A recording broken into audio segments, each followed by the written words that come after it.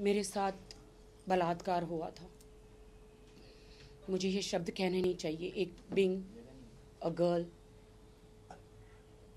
बहुत शर्म आ रही है मुझे ये कहते हुए। मेरे आँखों में आँसू है, मेरे हृदय छिलनी है। मुझे अंदर से इतनी तकलीफ़ हो रही है। आज तक मैंने जबान नहीं खोली। लेकिन बॉलीवुड को ऐसे बदनाम किया जा रहा है। हर लड़की बहती गंगा में हाथ धो रही है, चलती ट्रेन पकड़ रही है। एक बार नहीं, बार बार।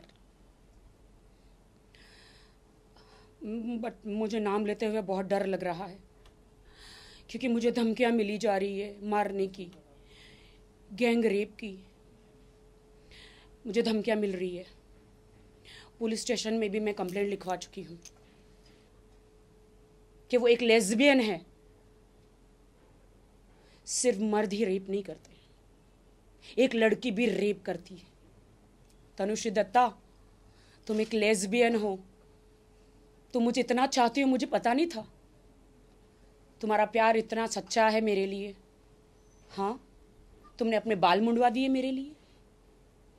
जिन जिन लड़कियों के पास काम धंधा नहीं है, काम नहीं है, जो इंडस्ट्री में हार चुकी है ऑडिशन देते देते स्किन टेस्ट और स्क्रीन टेस्ट देते देते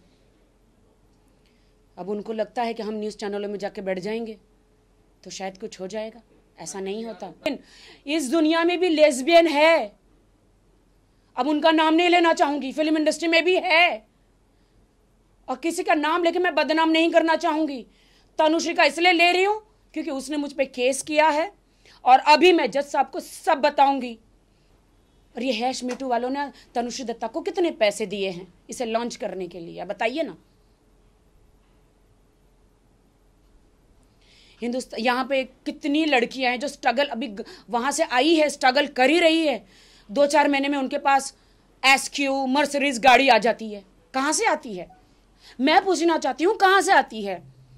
और आप गलत गलत प्रोड्यूसरों पे इल्ज़ाम लगाते हैं बॉलीवुड के लोग कभी रेप नहीं करते। कोई प्रोड्यूसर रेप नहीं करता।